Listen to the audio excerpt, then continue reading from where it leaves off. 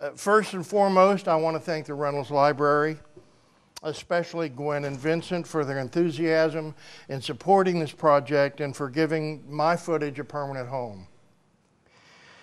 Uh, when I started this project three years ago by converting my collection of 8 and 16 millimeter films to digital files, I had no idea how massive my library had grown through the years. It's kind of like money when you save a penny here and you save a penny there, it doesn't seem like such a big deal. But when you add it up over time, it can become quite substantial. My obsession with shooting video was fueled by my Uncle Harold's passion with his 8 millimeter film camera. He used to come down from St. Louis and visit us frequently at uh, our resort, Blackberry Hill, here in the Ozarks, and bring his latest adventures, setting up the projector and screen, loading up an edited 7 inch reel of film, exquisitely spliced with titles and little stop motion animations that he would create from scratch. Since there was no sound, he would narrate each 30 minute reel and then catch his breath while rewinding and setting up the next reel.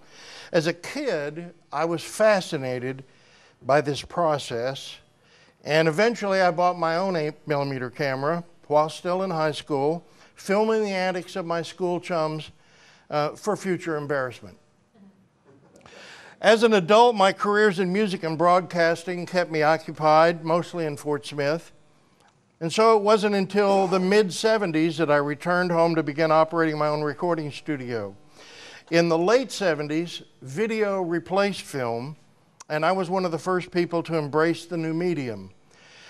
It helped that I was the manager of the Hubert's Home Entertainment Center, as we were on the very cutting edge of consumer video technology. My very first video project was in 1979. It was the armchair tour for Blackburn Real Estate. Charlie Blackburn and I did the video ourselves. Um, by today's standards, it was very crude.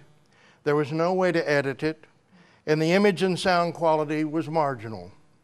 Still, it was better than nothing, and I was thrilled to be able to shoot something and watch it immediately after without having to send the film off to be processed. Most of the material in the collection that comes from the early 80s suffer from the shortcomings of early video technology, but by the late 80s I had upgraded the studio to professional broadcast video standards and could at least do some editing and basic post production techniques enjoyed only by television stations at the time. Therefore, the picture and sound quality in the videos produced after 1987 are greatly improved. In 1993, the studio went completely digital, and I shifted from editing with analog tape machines to nonlinear digital post production done completely on a computer.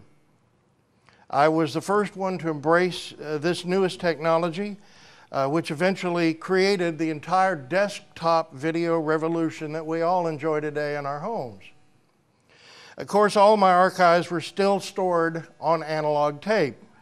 And I spent almost two years converting all those masters to digital form and stored on hard drives.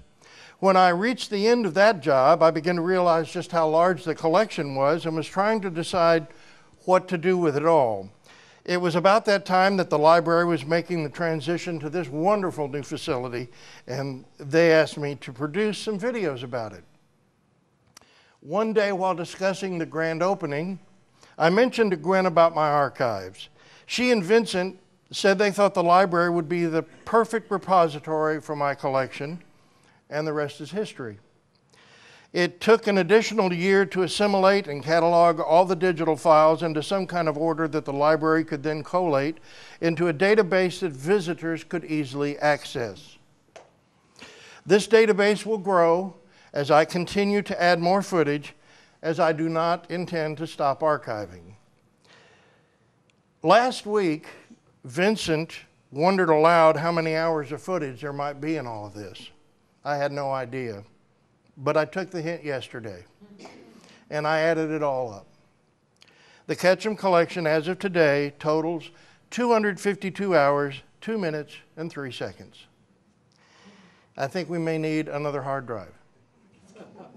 Thank you very much, and I hope everyone finds something worthwhile in the collection.